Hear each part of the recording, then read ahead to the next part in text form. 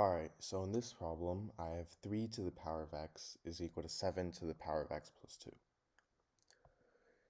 So to solve this, first off, if I have something in the form a to the power of m plus n, this is equal to a to the power of m times a to the power of n.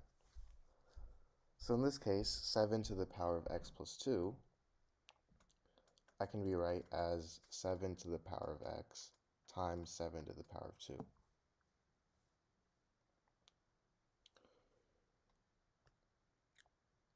Now, I'm going to go ahead and divide both sides by 7 to the power of x. So then these two cancel out, and now I'm left with 3 to the power of x over 7 to the power of x is equal to 7 squared.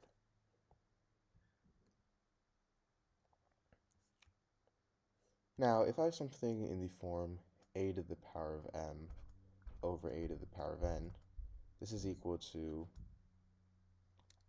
sorry, a to the power of m or b to the power of m, this is equal to a over b to the power of m. So 3 to the power of x over 7 to the power of x, that's going to equal 3 over 7 to the power of x, which is equal to 7 squared.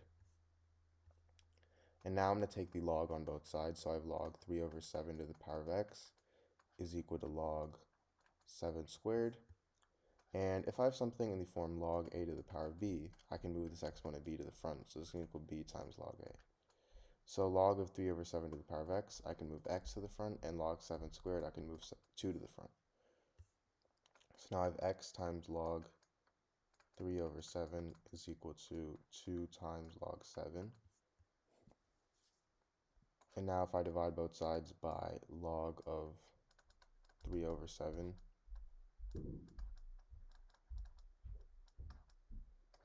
these two cancel out, and I have x is equal to 2 log 7 over log 3 over 7.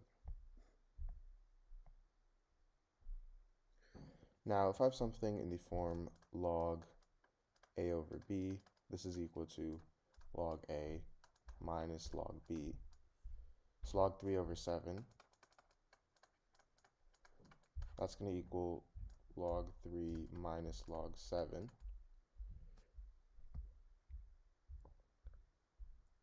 So this is my answer. Alright, so in this problem, I have 100 to the power of x is equal to 200. So to solve this, I'm going to first take the log on both sides. So now I have log of 100 to the power of x is equal to log 200. Now, if I have something in the form log a to the power of b, I can move this exponent b to the front. So this is equal to b times log a.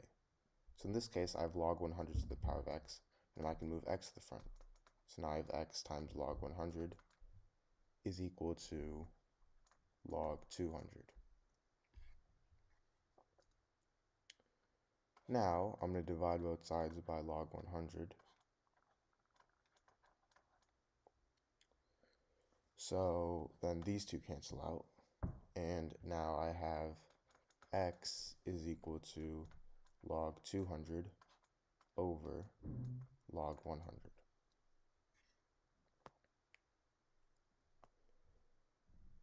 Now log 200, this is the same thing as log of 100 times 2. And I have this over log 100.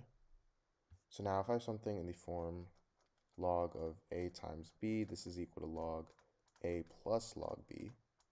So log 100 times 2, that's going to equal log 100 plus log 2. And now I have this over log 100. So now I have log 100 over log 100 plus log 2 over log 100. Now log 100 is simply equal to 2. So I have 2 over 2 plus log 2 over log 100.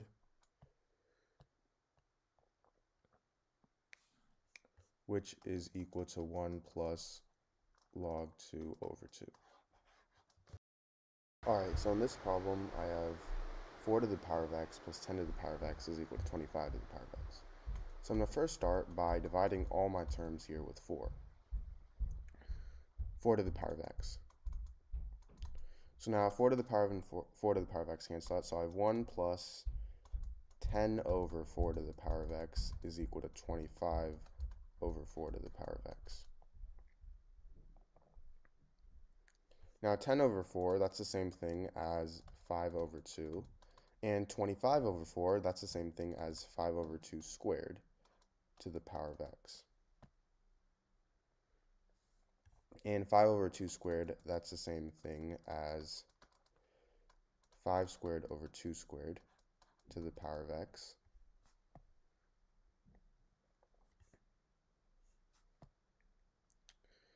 So now, I'm going to let u equal 5 over 2. So now I have 1 plus u is equal to u squared. So now if I rearrange this, I get u squared minus u minus 1 is equal to 0.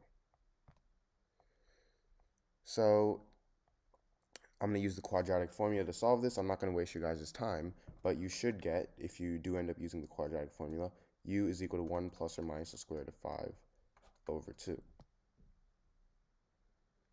So now remember how we said u is equal to 5 over 2 to the power of x. So this means that 5 over 2 to the power of x is equal to 1 plus or minus the square root of 5 over 2. So this gives me two equations. 5 over 2 to the power of x is equal to 1 plus the square root of 5 over 2. So to solve this, I'm going to take first start by taking the log on both sides. So now I have log 5 over 2 to the power of x is equal to log 1 plus the square root of 5 over 2. Now if I have something in the form log a to the power of b, I can move this exponent b to the front, so now I have b times log a. So in this case, I have log 5 over 2 to the power of x, and I can move x to the front. So now I have x times log 5 over 2 is equal to log 1 plus the square root of 5 over 2. Now we obviously want to isolate x, so I'm going to divide both sides by log 5 over 2. So then these two cancel out, and now I have x is equal to log of 1 plus the square root of 5 over 2 over log 5 over 2. Now, 1 minus the square root of 5 over 2, this wouldn't work because 1 minus the square root of 5, that's going to be a negative number. And you can't take the positive, you can't take the power of a positive number and make it a negative number. So this is wrong, and this is my only solution.